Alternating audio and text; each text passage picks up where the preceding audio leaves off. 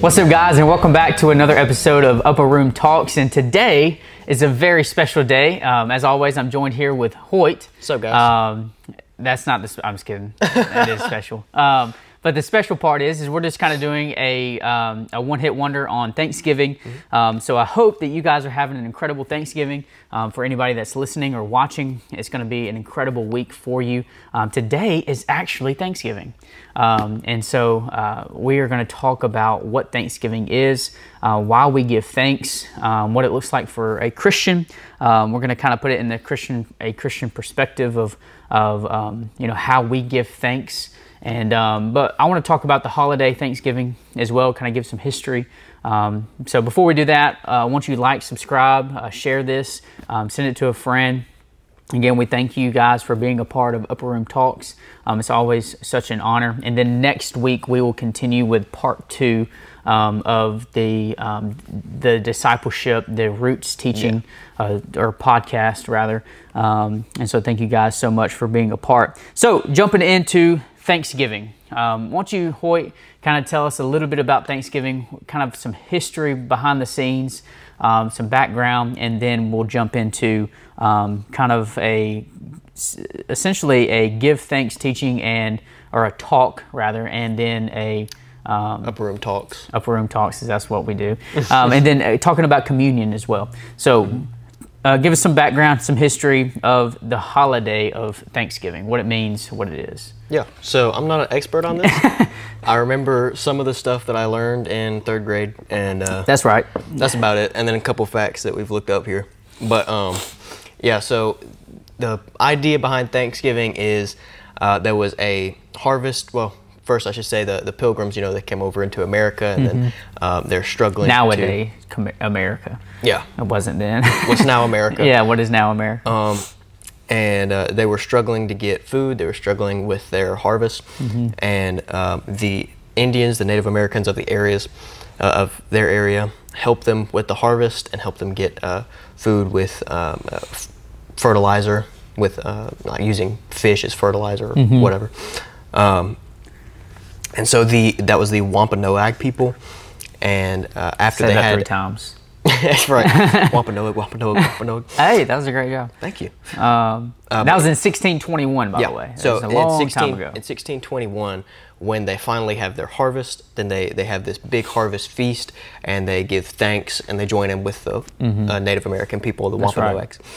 Um, and that was their uh, first successful corn harvest we have here. And the feast included deer, corn, shellfish, roasted meat, ball games, singing, and dancing. So they was playing football, Yeah. uh, eating corn on the cob, uh, getting sounds like a in. sounds like a normal Thanksgiving at my house. right. Like straight up. we eat, we hang out, we throw some football. Everybody's shoulder hurts after, um, or somebody has torn a hamstring because they were running and they're old now. That's that's what a normal Thanksgiving looks like at the Fortson house. So Right, right. Uh, so we have colonists in New England regularly observe days of prayer or thanksgiving to give thanks for blessings like safe journeys, military victories, or abundant harvests. Mm-hmm.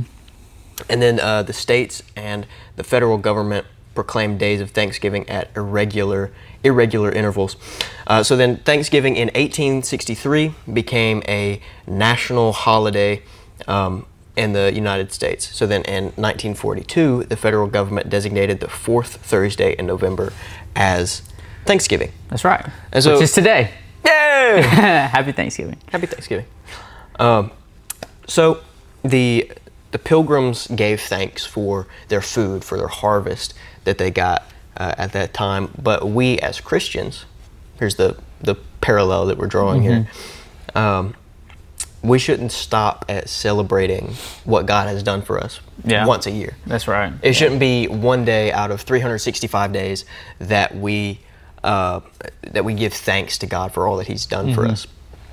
Um, you know, we we made a uh, a holiday out of it, but it should be every day. Yeah, that's right. Um, so And, I mean, uh, I mean, even if you're looking at that time, like the Lord is the one who gave the harvest. You know, like He's the one who made Yeah. it happen. Uh, Yeah. uh, in, in, all reality, I mean, He's the the one that owns the cattle on a thousand hills. He made made the creation. He made it all. Yeah. You know, and so that's where the true thanks is. Is not necessarily um, just because we have a great harvest. You know, it's like no, we're thankful for the one who gave the harvest, Yeah. who allowed the harvest to happen, um, and and that's the Lord.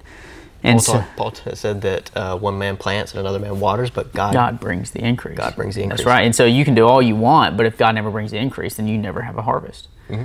You know, um, and so, and so that's um, kind of the um, the connection there for us is um, all things come from the Lord, Mm-hmm. and um, we we should give thanks in everything. Yeah, period. And again like you said not in just one day not not observing just one day to give thanks to the lord but rather every single time every single moment every single thing of our lives. You know talking about um, first thessalonians 5.18 it says in every situation in all things um, give thanks in all circumstances. Right? Um, and, and this is where we should live our lives no matter what we're going through um, what we feel like that day or feel like that week whatever our circumstances may be um, we give thanks yep, we give thanks yep, for sure. And you know, believe it or not, this podcast is not about the uh, venison and the, the the shellfish and the corn. yeah yeah Uh, that's not what the holiday's about. That's not what this podcast podcast about. This isn't a history teaching on Thanksgiving. This is just you know uh, a teaching on we should give thanks. yeah We're just drawing a connection here. yeah certainly yeah again but yeah, like every day is thanksgiving yeah, yeah. essentially yeah I actually saw that on a sign when we were coming back from uh, Tennessee uh, by a church. Mm-hmm. It said uh, Thanksgiving should not be on just one day. yeah i agree Uh, but yeah, we ought to thank God for everything at all times, even the things that we don't really understand. Um, uh, as the scriptures or as the song says, I know uh, we praise God on the mountain and in the valley. that's right Um, but then Romans 8:28 says, "We know that all things work for good for those who love God, who are called according to His purpose." yeah that's good Um, so everything that happens, whether you see it as bad, whether you see it as good, doesn't matter. All of that is working together Mm-hmm. by the power of God. God is weaving everything together Yeah. that happens in your life That's for good. So you can give thanks in everything. When you understand that, it makes it so much easier to give thanks too. Um, but even if you aren't understanding of that, it's just a good uh, practice to have Yeah. in general. Yeah, oh, I think it Be brings. grateful. I think it brings a lot of more joy. Like you're able to live a life of joy. Um, you're able to, able to live in more peace, have more rest and comfort. Um, even whenever you are going through hard seasons of life, you still choose to be thankful. You know, like Yeah. that, that that that just builds character. It builds perseverance. Um, it builds so, so much integrity. Um, so many convictions in your life that you're not willing to waver from. Like um, being thankful is a is is is a, an incredible characteristic of someone. Um, it- it's hard to teach being thankful too. Yeah. Um, it, it's something that um, that people have to learn. Like y- you just have to learn to be thankful. we, the way we teach it is it would be like, what do you have to be thankful for? I mean, like you hear this a lot in kids' Yeah, ministry. yeah. What do you have to be thankful for? Well, you're breathing right now. yeah, yeah. But it, it it is those things we take those things for granted. Yeah. You know that we even have a breath in our lung. Absolutely. You know, and even God says that breath that's in your lung was given to you Mm-hmm. by me. You better be thankful for it. You know, like what what do you do with that breath? Well, you give glory to God. Yeah. you know, and so we take those little things for, for granted. That our our sight, Mm-hmm. our our voice, our hearing, our movement. We take all of those things for granted, um, especially um, whenever you lose them. Mm-hmm. You know, and, and you lose your sight or you lose your your um, the ability to speak. Then you're like, man, I was I should have been more thankful. Mm-hmm. Um, you know, and so that that's um, that's how we are supposed to and should live our lives. Yeah, and I think that's uh, one of two, at least two things that are like the secrets to contentment, to Yeah, a, to a happy sure. life. So, in terms of specifically with joy, I think grateful, gratefulness, like gratitude, that is vital to having that life of contentment and of joy. Mm-hmm. Yeah. Um, because if you're always wanting something that you uh, that you don't currently have, I mean, you're never going to be happy with where you are. That's right. Yeah. Because you're always waiting on something that you don't have. Yeah. Um, but when you're grateful for what you do have, then you're able to have joy no matter what. Mm-hmm. Yeah. And then also on the side of peace, of contentment, um, if you, uh, uh, gratitude's a part of that as well. But largely, as Matthew 6 describes it, um, it's focusing on God. It's uh, how do you say, cherishing heaven, putting your storing your treasures in heaven, building up treasures in heaven, rather than on earth. Yeah. Because on earth the moth will uh, consume, the rust will destroy, the thief will steal. Mm-hmm. That's right. But in heaven, none of those things happen. Yeah. In heaven, it is eternal and constant and stable. Mm-hmm. So if you cherish the things of heaven, then you'll have peace. If you cherish the things of earth, then you're going to have anxiety. Yeah. And if you're gratitude for what you if you if you have gratitude for what you currently have, then you'll have joy. And if you uh, if you're ingrateful, then you're not going to have joy. That's right. Yeah. You're always going to be wanting. And so, um, again, so it kind of it kind of talks about what Thanksgiving is and um, the importance of us giving thanks and being thankful. But what is it? You know, what what does that look like for us? And you know, whenever we um, come together as followers of Jesus, um, you find this in 1 Corinthians 11, 20 through 32, talking about um, communion. And um, talking about remembering Jesus. Uh, again, you, you go back to the pilgrims um, and the natives is is that they gave thanks together, like they ate a meal, they fellowshipped with each other, um, and it was three days long. Like, and they would set they celebrated what happened, um, and they did it in remembrance of what they just came out of. But they also the fact that we're still celebrating Thanksgiving all because they had this one party one time. you know, like they did it for a reason in the sense of never forget this moment, never forget this. And so I, I go to I go to uh, I go to what we call the the Last Supper. You know, Jesus, um, communion, us taking communion in, in the church as followers of Jesus. Um, again, we find this in 1 Corinthians 11 20 through 32. Um, you know, we talk about the Last Supper. We'll, we'll just read it right here. Um, it says, um, When you come together, it is not the Lord's Supper that you eat. Okay, so Paul is um, giving a rebuke right here, um, and, and then and then showing us how we should do communion because what was happening is was was that people were coming together and forgetting why they were coming together and they were indulging on food and Yeah. some weren't even getting food you know and so it wasn't it wasn't for the remembrance of um, Of Christ. of Christ. It had nothing to do with Christ. We're just coming together and and so essentially what was initially meant to remember something it was no longer meant to remember something. Not just for yeah it was no longer food. yeah it was just now it's just oh yeah we just come together every year at this time. I don't remember, really remember why we do it but we just eat really good food Yeah. and enjoy each other's company Thanksgiving the same way, man. yeah, I, uh, that's right. And that's why we talk about this because we're not just coming together just to be with family. Right. You know, like it's so much greater than that. Um, we're coming together with our family to remember Christ, um, not to indulge on food. Right. You know, again, so you gotta you gotta put this on on yourself. Um, so when you come together, it is not the Lord's Supper that you eat. For in eating, each one goes ahead with his own meal. One goes hungry, and another gets drunk. What? He literally says, "What?" Exclamation point. do you not have houses to eat and drink in? You know, like you can go home and do that. Mm-hmm. Like that's not the point of this. Why you're mm-hmm. together. Um, or do you despise the church of God and humiliate those who have nothing? What shall I say to you? Shall I commend you in this? No, I will not. For I received from the Lord what I also delivered to you that the Lord Jesus, on the night when he was betrayed, took bread, and when he had given thanks, he broke it and said, This is my body, which is for you. Do this in remembrance of me. Okay, so now we have one element, which is what? The bread. the, bread, body. the body, okay? And then 25, in the same way, he also took the cup after supper, saying, The cup is the new covenant in my blood. Do this as often as you drink it in remembrance of me. Okay, so now we have two elements. What's the second one? The wine. Or The, blo- wine, The the blood. blood, the- that represents the wine. Mm-hmm. For as often as you eat this bread and drink the cup, you proclaim the Lord's death until he comes. Whoever therefore eats the bread or drinks the cup of the Lord in an unworthy manner will be guilty concerning the body and blood of the Lord. I'm going to stop right there. We're going to talk about that in a second.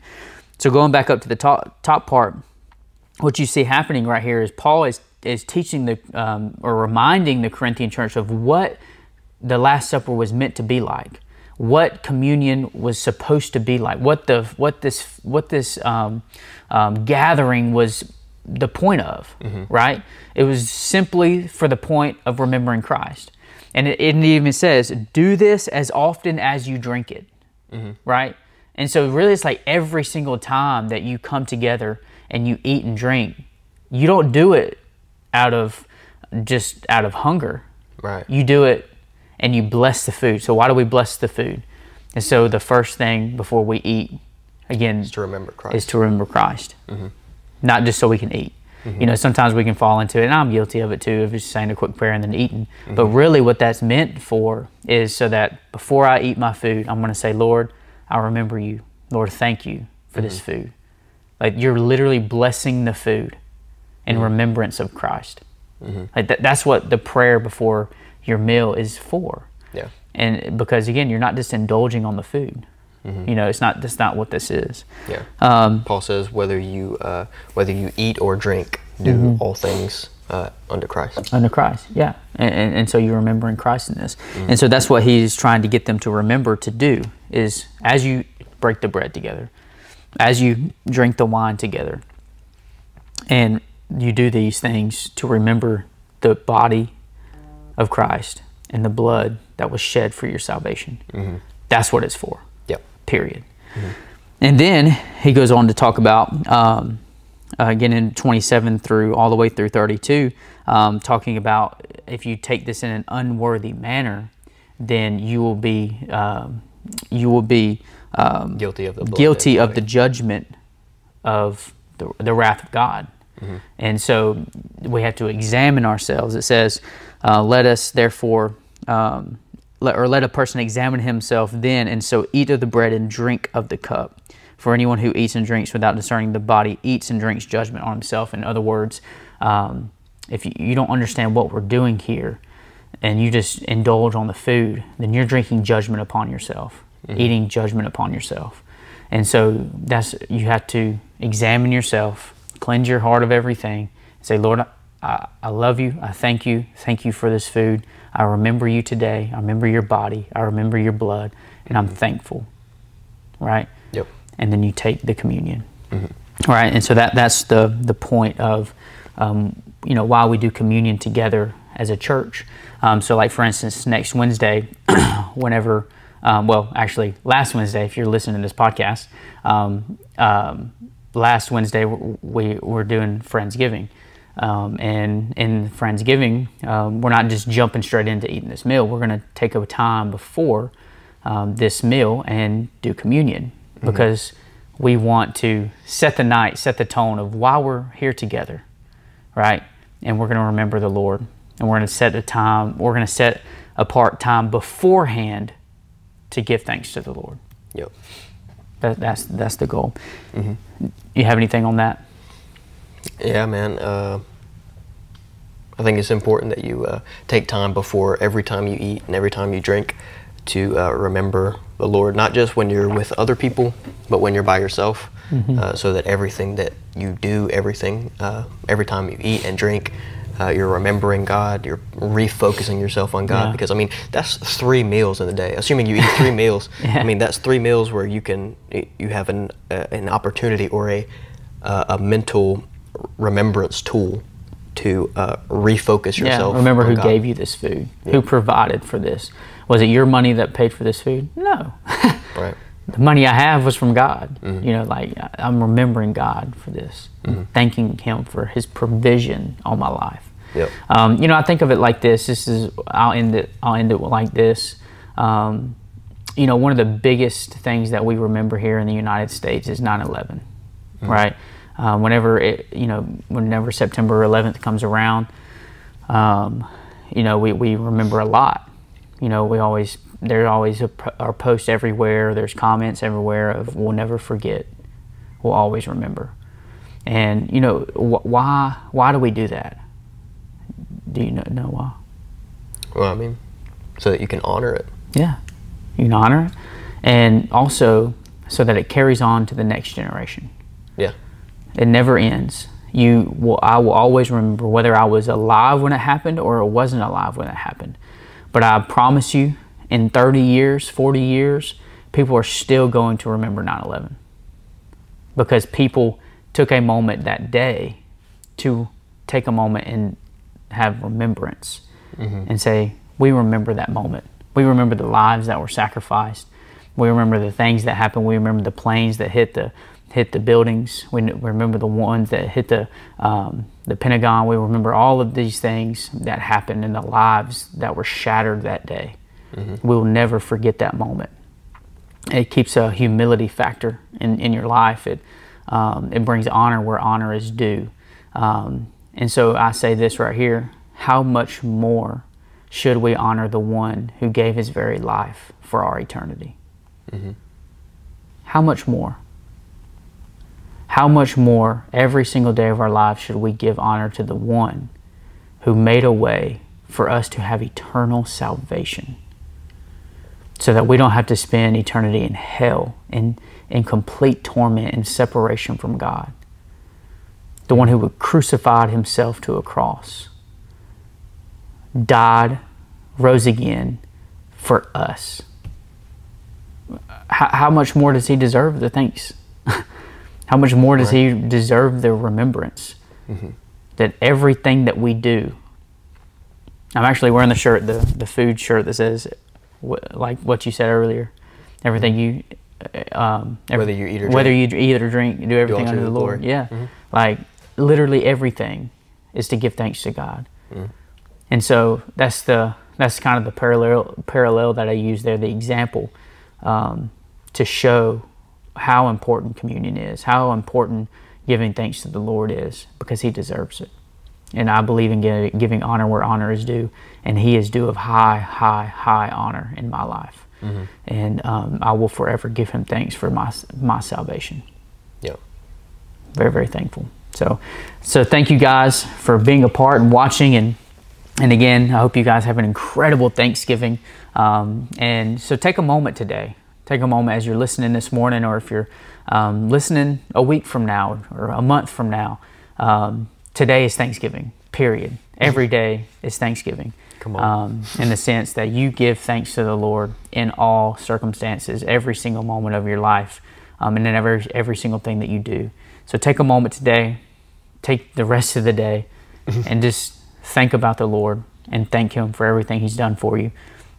So thank you guys so much for joining us and being a part. And as always, like, subscribe, send it to a friend, and hopefully this is encouraging to you. Thank you, Hoyt, for being a part. Um, it's always an honor. You're giving thanks right now. That's right. I'm giving thanks to you. I'm honoring you. Uh, so thank you guys so much for joining us, and we will see you next week. Peace. See you.